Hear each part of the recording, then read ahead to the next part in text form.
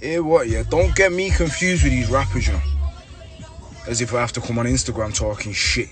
I'm seeing a lot of these rappers talking, I'm seeing interviews and they just talk shit. Fucking talk shit. You get what I'm saying? And then they're pulling the full tour and all that. If you're doing so well. Are you pulling your tour? We ain't pulling shit. The resurrection tour's happening, full effect. You get me? People are struggling with tickets because it's COVID and all that. Man, I don't give a fuck about none of that. You get me? You'll see me on. Get me twisted, you know.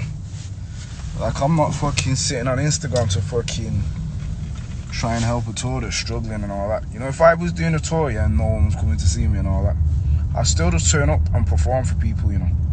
Like the connection between me and my fans is like pretty mad. Like people that have like not committed suicide because of my songs and all that. Like I'm there for them. You get me? However, I am at a stage where I'm busy, like mad busy though. Like I've got a fucking clothing and trainer fucking brand in JD that's growing every fucking day. I've just done my second film in the Middle East. I had to train like a madman for that. I've got obligations into the end of next year. It's like I'm crazy busy and now with like touring and that. I don't tour for dough, obviously I make dough and I don't fucking I tour to turn up for my true supporters. You get what I'm saying? And I've been doing them, I've done them year in, year out, five, six tours in at this point. So it's the last one. What? The resurrection tour. What? As many DMs as I can, you know. But I'm busy now. It's Sunday.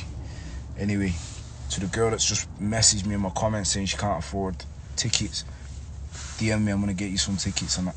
And Norwich and Leicester, my apologies for them shows getting cancelled.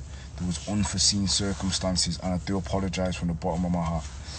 Anyway, hopefully you can get to another show. Do you get what I'm saying? Because it's gonna be a shutdown. I'm off for the night.